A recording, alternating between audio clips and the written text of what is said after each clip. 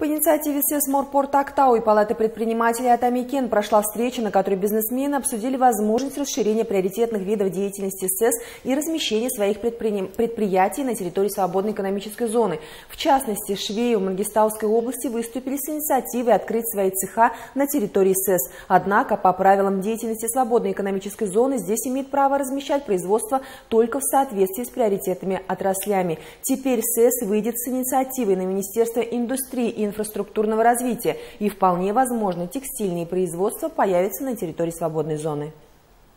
В СЭС Морпорт Актау на сегодня действует уже 9 субзон. Общая площадь СЭС больше 2000 гектаров. Здесь созданы идеальные условия для ведения бизнеса. Каждый инвестор освобожден от налога на имущество, земельного и корпоративного подоходного налога. Также отсутствует НДС на импортные товары и таможенные пошлины. Каждому участнику предоставляется земельный участок с освобождением от арендной платы. Виды деятельности СЭС утверждаются приказом министра индустрии и инфраструктурного развития. Сейчас их 25. В основном это химическая промышленность, строительная отрасль, машиностроение и туризм.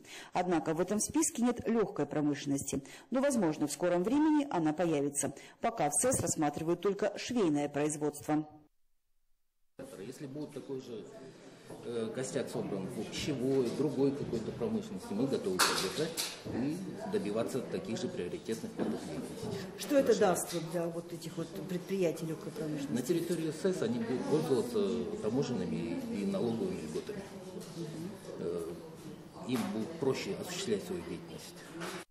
С инициативой о создании текстильного кластера выступил Совет деловых женщин Мангистауской области.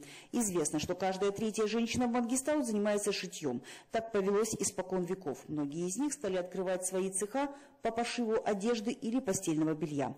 Появилась масса микро- и мини-цехов. Есть среди них и те, которые наращивают производство, открывают шоурумы и выходят на казахстанский рынок я говорю о том, что на всех трибунах, что через года два мы придем к такой ситуации, когда эти люди будут наращивать производство, эти предпринимательницы, женщины, а площадей нету.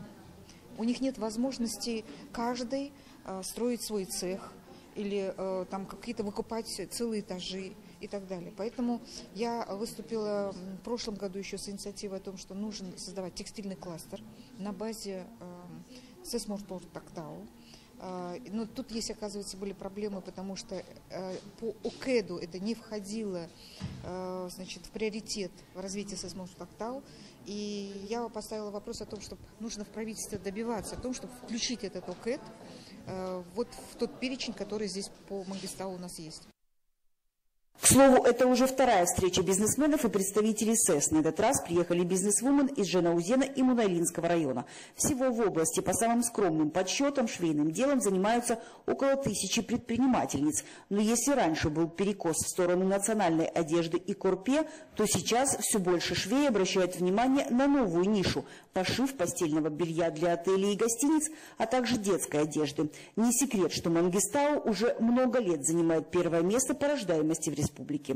Ольга Золотых, Ролан Аметулы. Новости.